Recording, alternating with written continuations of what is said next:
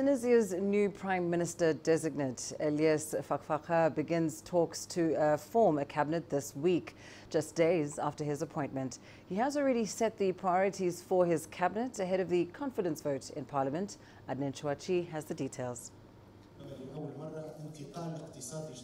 Elyes Fakhfakh declared that the economic situation is critical.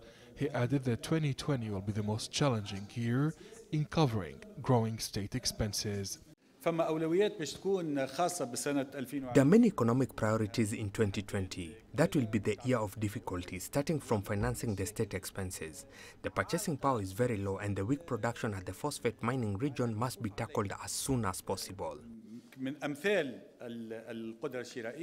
The Prime Minister designate noted that Tunisia is working to gradually improve its economic indicators by means of tough yet necessary reforms. I'll put in place a structural reform program to boost development.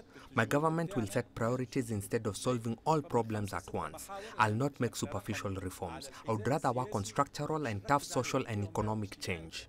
Fakhfakh will hold a meeting with the central bank governor and the outgoing finance minister this weekend to shed light on the latest economic indicators. The situation is already alarming because Tunisia has a tax burden of more than 20% of GDP.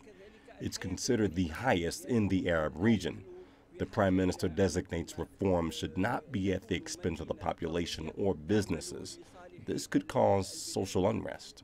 Leaders of political parties represented in parliament do not oppose the choice of the President of the Republic to designate Fakhfakh to form the next government.